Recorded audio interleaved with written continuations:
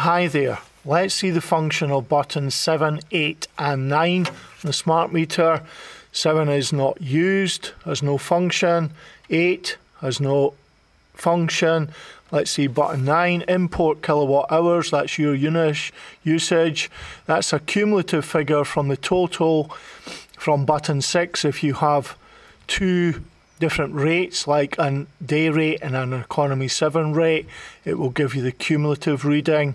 It will also give you any export if you've got solar panels. Back to the grid it will give you readings of that.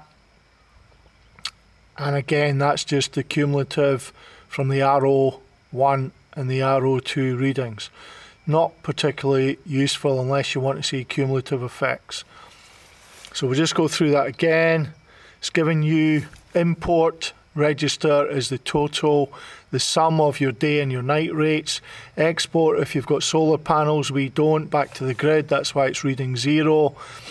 Uh, KVR is the out of phase component that you do not normally get charged for.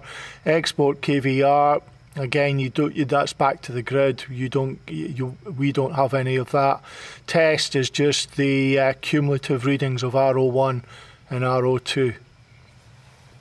Thank you for watching.